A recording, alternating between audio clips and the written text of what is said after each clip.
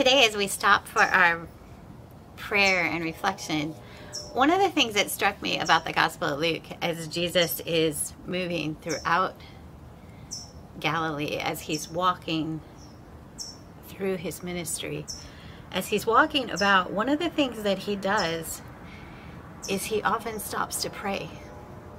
That the directions that come before something happens is that Jesus was off praying.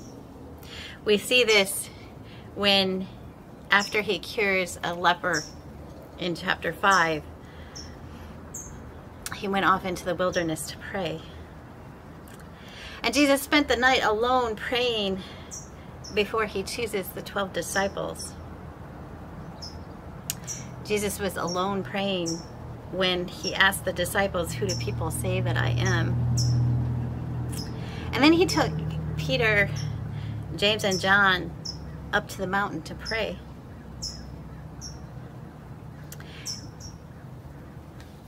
And one of the spots that Jesus stops and invites us into prayer is when he was in, a, it just says he was in a certain place praying. And after he finished, the disciples asked him, Lord, teach us to pray. And that's when he taught us those words that are part of the prayer that he probably said every time he stopped and went out into the wilderness to pray. Because the words give him a chance to expand them and to ask questions and to raise up the people and places and feelings that he's having. And so he says those words that many of us pray all the time that we don't stop to think about. Father, hallowed be your name. Your kingdom come. Give us each day our daily bread and forgive us our sins. For we ourselves forgive everyone indebted to us. And do not bring us to the time of trial.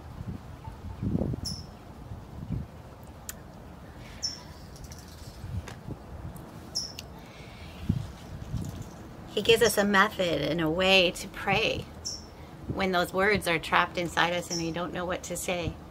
And so this week on our prayer walk, as we walk with Jesus and pray, I want us to take time with these words. To experience their power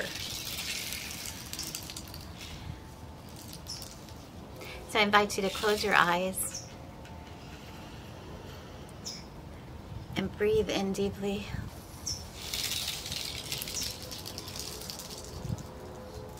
To release your breath. Say, Our Father.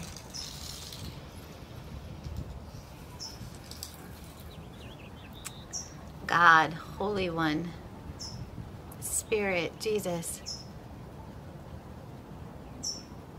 Lord, compassionate one.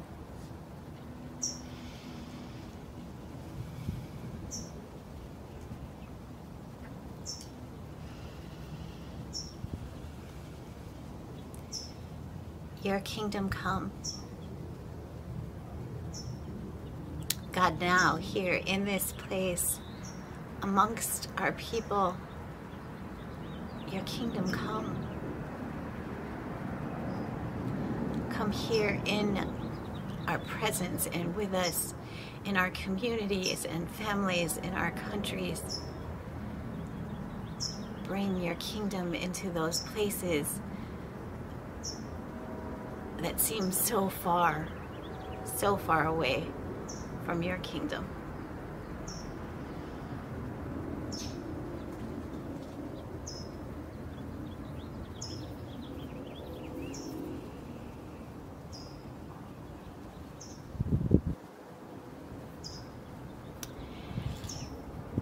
Give us each day our daily bread.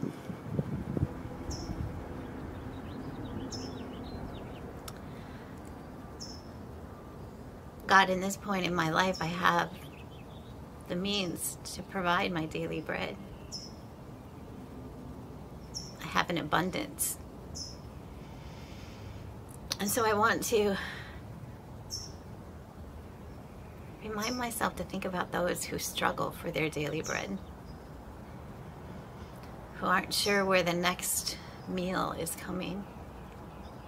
Especially now during the summer when kids go get that meal in the middle of the day.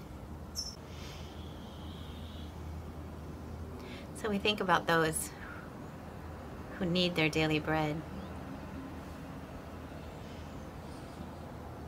And we lift up those food programs in our community that take food out to where the hungry are, that invite the hungry in to share a meal. Be with those volunteers and the people who got the courage to seek food, to seek help.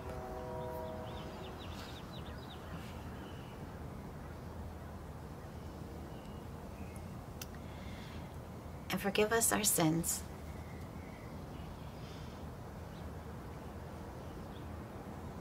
God, we lift up to you those places where we fall short, where we have turned from your word, where we have failed to live up to our expectations for ourselves, where we have caused harm to another.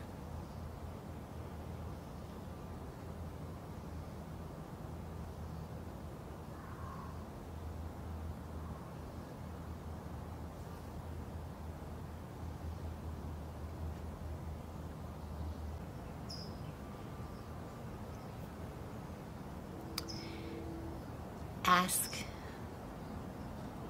seek, and find. You invite us to ask, seek, and find. Show us the question to ask. Invite us to seek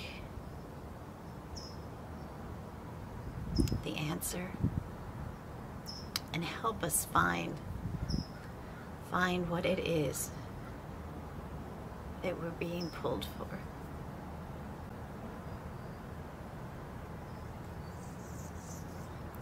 Amen.